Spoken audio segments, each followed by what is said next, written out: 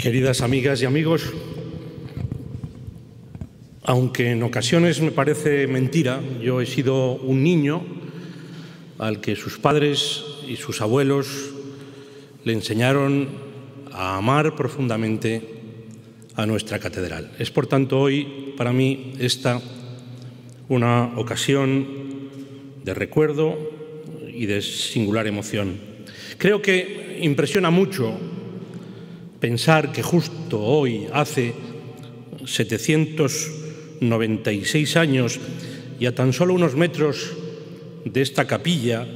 pues parece que las obras comenzaron por la cabecera de la nave principal, se ponía la primera piedra de esta maravillosa Catedral de Burgos, pieza clave de nuestra historia, de nuestra cultura y de nuestro patrimonio acompañando al antecesor de don Fidel, al obispo eh, Mauricio, aquí estaba el gran rey Fernando III, después declarado santo. Fue nieto de Alfonso VIII de Castilla, el de las Navas, el fundador también de nuestro monasterio de las Huelgas Reales. Fue hijo de Alfonso IX de León, el que convocó las Cortes de 1188 y el que fundó hace ahora también ocho siglos la Universidad de Salamanca.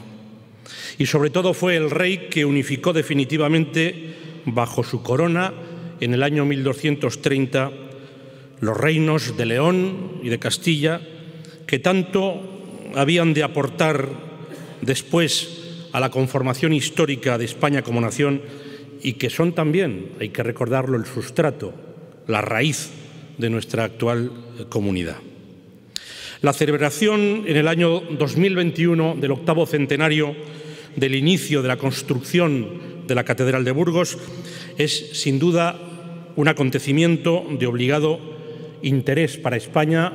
y de modo muy singular para Castilla y León. Y por ello es una excelente noticia y así la quiero hoy calificar, la creación, por cierto, con tanta anticipación y previsión, de una fundación privada orientada a impulsar esa conmemoración y también la firma de un protocolo para facilitar la colaboración pública en el programa de actividades culturales, artísticas, educativas o investigadoras que se decidan al efecto en cuyo desarrollo y promoción quiero hoy comprometer ya la participación activa y convencida de la comunidad de Castilla y León. Nuestra, catedral es lindera con el Camino de Santiago, al que abre directamente su puerta de coronería. 2021 también será Año Santo Jacobeo. El paso y la visita de miles y miles de peregrinos actualizarán todo lo que la peregrinación ha significado en la historia de Castilla y León, de España y de Europa. La catedral nació en un momento de enorme dinamismo para Burgos, cruce de caminos, capital de creciente importancia política y administrativa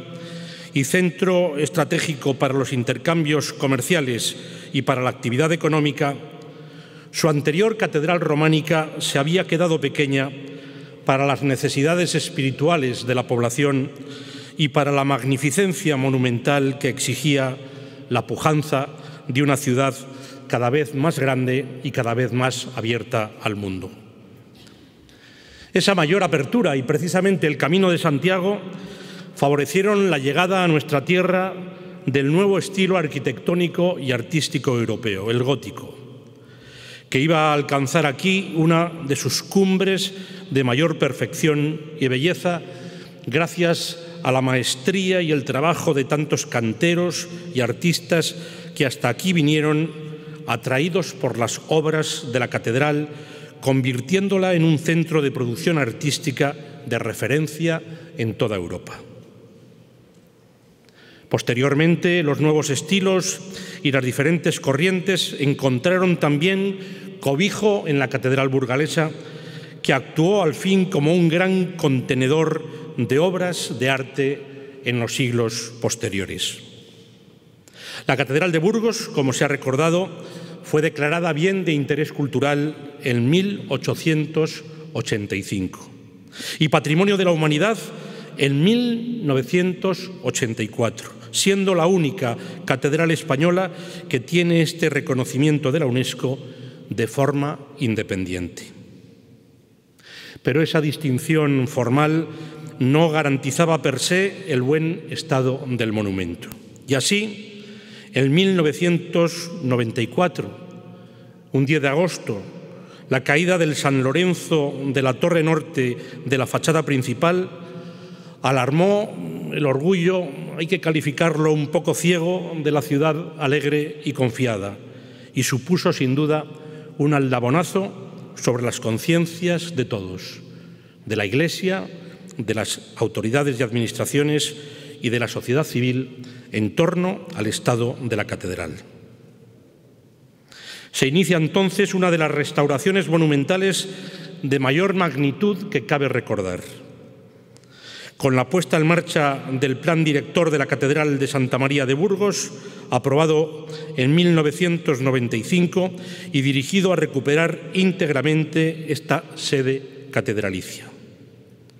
Un proceso ya casi completado, que ha requerido mucho más tiempo del previsto inicialmente y que ha exigido movilizar recursos mucho más importantes de los contemplados en aquel plan director que ya hoy superan con creces los 30 millones de euros. Pero sobre todo, queridas amigas y amigos, una actuación que se ha convertido en paradigmática para la política moderna de recuperación y restauración del patrimonio, al haber sabido activar la participación de todos un magnífico ejemplo de implicación ciudadana y social, de colaboración entre todo tipo de entidades privadas y públicas y de ejercicio del mecenazgo más responsable en la conservación de nuestro más valioso patrimonio histórico artístico. Con permiso del presidente del Cabildo y dejando en manos de quien eh, debe tenerlo, que son los técnicos y las instituciones nacionales e internacionales que garantizan la pureza y la conservación de este monumento en relación a ese objetivo que todos compartimos, que es dotarle de las condiciones de calefacción adecuadas para su uso y para su visita, quiero hoy recordar, queridas amigas y amigos, que la última gran obra de este proceso va a ser la restauración del también cercano trasaltar y de los relieves de Bigarni, para lo que recientemente hemos firmado ya el correspondiente convenio con el arzobispado y con el cabildo. Una obra que comenzará en, perdón, en 2018 y que finalizará precisamente en vísperas de 2021, con lo que entonces también culminarán 25 intensos años de trabajos de conservación y de renovación, de cuantiosas inversiones y de ejemplar colaboración entre todos. Así pues, muchas cosas importantes se celebrarán en 2021. Una efeméride que debemos aprovechar para potenciar la Catedral de Burgos como uno de los principales referentes patrimoniales, culturales y artísticos de Castilla y León de España y de toda Europa. Partiendo, desde luego, de su importancia religiosa, histórica y arquitectónica, pero concibiéndola también como un recurso magnífico, como un recurso excelente, como un elemento revitalizador de la ciudad, de la provincia y del conjunto de la comunidad capaz de mejorar la calidad de vida de sus habitantes. La construcción de este impresionante templo, ajustado a los renovados cánones artísticos y arquitectónicos que nos llegaban de Europa, contó en su momento con el apoyo de la ciudad y de los burgaleses, que consiguieron así levantar la que sin duda sigue siendo, ocho siglos después, nuestra principal seña de identidad, de fe y de sentimiento. Una voluntad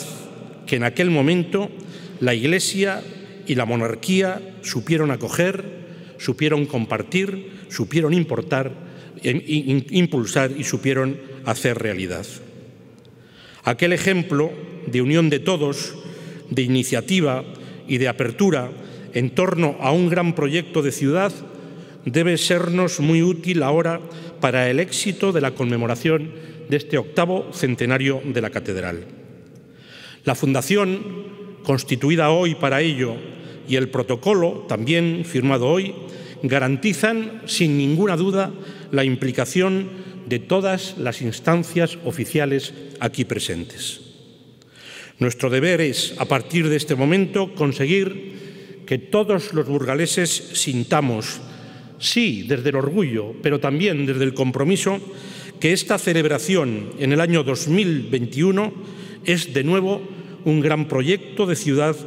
que nos incumbe a todos y al que todos estamos convocados. Una gran oportunidad para presumir ante el mundo de la que sin duda es una de las catedrales más hermosas y mejor conservadas. Y también una oportunidad inmejorable para seguir aumentando